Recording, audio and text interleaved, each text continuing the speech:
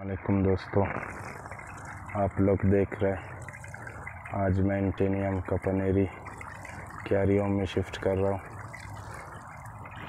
आप लोग हमारा चैनल को सब्सक्राइब करना है, ताकि हमारा आने वाला वीडियो आप लोग तक आसानी से पहुँच सके। तो आप लोग देख लीजिए, मैं इसको किस तरह क्यारी में शिफ्ट करता हूँ। सबसे पहले आपने इस तरह गड्ढा बनाना है। आधा आधा फुट पे। आप लोग देख रहे हैं। मैं किस तरह ये निकाल हूँ गड्ढे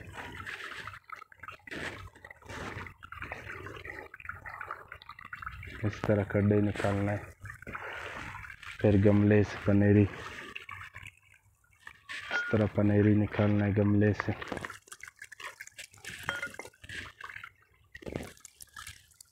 लोग ने इस तरह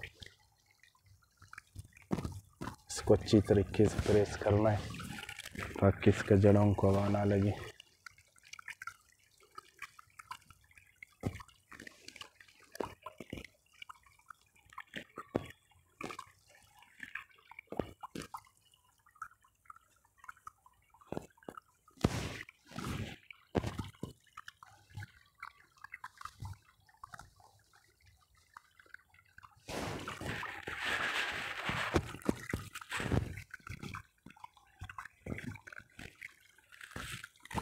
जब सारा पनीरी लग गया आपका।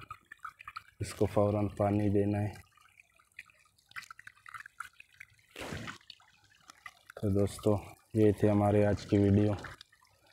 और भी वीडियो बनाते रहूँगा आप लोग के लिए।